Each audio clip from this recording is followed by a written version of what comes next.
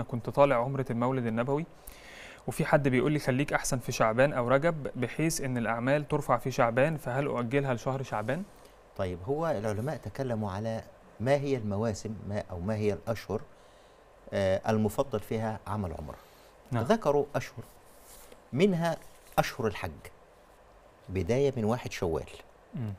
لحد نهاية ذي الحجة هذه كلها تسمى أشهر الحج فيجوز الإنسان فقالوا من ال- الأشهر المفضلة في القيام بعمرة. نعم. وأيضا شهر رمضان من الأشهر المفضلة في العمرة وشعبان.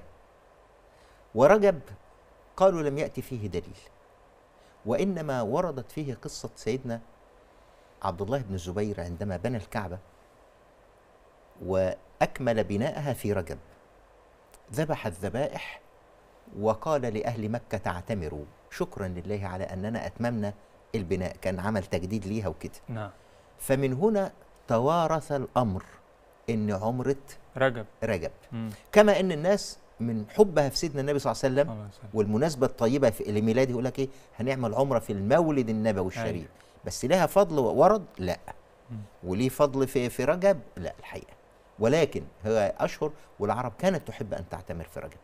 وممكن يأتي استحباب رجب كمان عن عمرة المولد لأنه من الأشهر الحرم. نعم. من الأشهر الحرم.